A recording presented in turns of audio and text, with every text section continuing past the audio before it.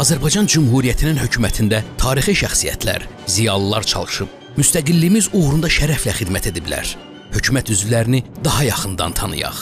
İlk müvəqqəti hökumət 28 may 1918-ci ildən 17 iyun 18-ci ilədək Tiflisdə təsdiq olunur. Nazirlər Şurasının sədri və Daxili İşlər naziri Fətəli xan Xoyski, hərbi nazir Xosrov Paşa bəy Sultanov, Xarici İşlər naziri Məmməd Həsən Hacınski, Maliyyə və Xalq Maarif naziri Nəsib bəy Yusif bəyli, Ədliyyə naziri Xəlil bəy Xasməmmədov, Ticarət və Sənaye naziri Məmməd Yusif Cəfərov, Yollar, Poçt və Teleqraf naziri Xudadat bəy Məlik Aslanov, Dövlət müfəttişi Cəmo bəy Hacınski, Əkinçilik və Əmək naziri Əkbər ağa Şeyxülislamov digər hökumət kabinetlərində yer almadığı üçün Əkbər ağa haqqında məlumatlarla bölüşürük.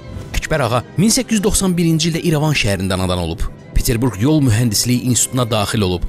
1918-ci ilin fevral ayında Zaqafqaziya Seyminə üzv seçilərək Türkiyə hökuməti ilə sülh danışıqları aparmaq üçün yaradılan heyətin tərkibinə daxil olur. Əkbər ağa ilk kabinədə əkinçilik və əmək naziri vəzifəsinə təyin olunsa da, kabinə istefaya getdikdə vəzifəsini tərk edir. O Əlimərdan bəy Topçubaşovun rəhbərliyi altında Azərbaycan nümayəndəliyinin tərkibində Versal sülh konfransında iştirak etmək üçün Parisə yola düşənlər arasında da yer alır. Onun 2-ci Dünya müharibəsinə qədər Parisdə rusca nəşr olunan Azərbaycan jurnalındakı məqaləsində 1918-ci ilin 26-28 may günlərində baş vermiş tarixi hadisələrin gedişi müfəssəl işıqlandırılmışdır. Əkbər ağa Şeyxülislamov 1961-ci il martın 2-sində vəfat edib. İkinci hökumət kabineti Gəncədə təsdiq olunur və 17 iyun 1918-ci ildən 7 dekabr 1918-ci ilədək fəaliyyət göstərir.